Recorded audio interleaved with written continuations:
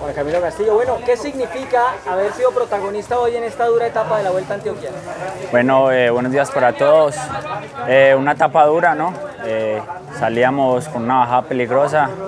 las indicaciones del equipo era que teníamos que estar adelante, teníamos que estar protagonistas ahí en la fuga.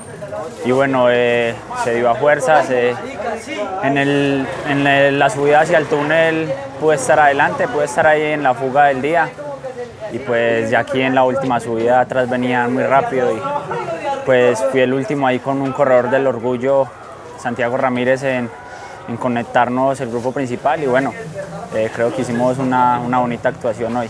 Sí, se va ganando confianza, de todas maneras retomar el ritmo de carrera no es de un día para otro. Sí, sí señor, cada día vamos mejor, eh, cada día siento que la pierna despega un poquito más, eh, veníamos un poquito parados, pero bueno, cada vez vamos retomando más y esperamos que, que en Fusa estemos mucho mejor. Bueno, ¿qué, qué análisis da de esta vuelta a Antioquia que ya le queda una etapa? Una vuelta, una vuelta a Antioquia demasiado dura.